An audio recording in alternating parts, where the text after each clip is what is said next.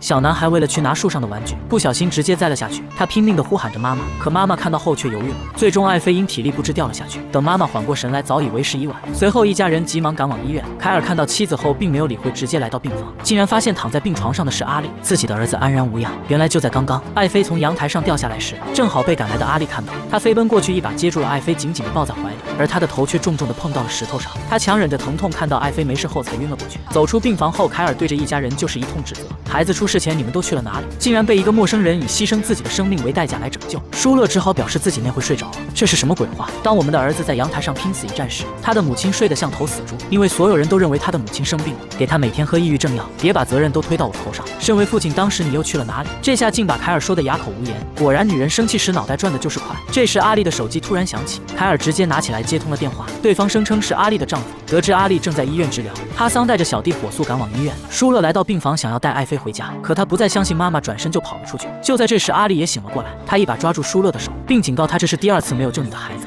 夫人的闯入直接打断了两人的谈话。经过医生的诊断，确认阿丽只是轻微的脑震荡。夫人害怕自己的私生子哈桑将要赶来，于是急忙找个借口带着艾菲一起离开。可当他走到医院大厅，就意外撞到了哈桑。他看着眼前的儿子，当场愣在了原地。阿丽得知哈桑将要前来，他在凯尔的帮助下从后门逃了出去。接着，哈桑带着众小弟来到病房前，竟然和凯尔杠上了。两个男人互不相让。舒勒看到苗头不对，直接说出阿丽逃走了。哈桑只好让小弟快去追击。凯尔为了帮救自己儿子的女人，竟把她藏在了自己的车里。然而一回他就在车里晕了过去。凯尔急忙将他带回了家。夫人看到阿丽的出现，一脸的惊讶，她极力反对让一个陌生人来到这里。但凯尔反驳道：“他可是救了你孙子两次命的人，他现在遇到危险，我们就应该挺身而出。”到了夜里，阿丽醒来却发现艾菲躺在他身边，艾菲嘴里呼喊着妈妈不要离开。阿丽看到亲儿子受到的遭遇，伤心的哭了出来。就在这时，夫人突然来到他的身边，她质问阿丽这么多年过去了，为什么会突然出现？希望他能主动离开这里。阿丽一听就怒了，当初你跟我承诺过要像亲孙子一样对待爱妃，可这两天当中不是孩子丢了，就是从阳台摔下，你儿媳妇是想弄死孩子吗？夫人一听不高兴了，多年来舒乐照顾着你，从没养过一天的孩子，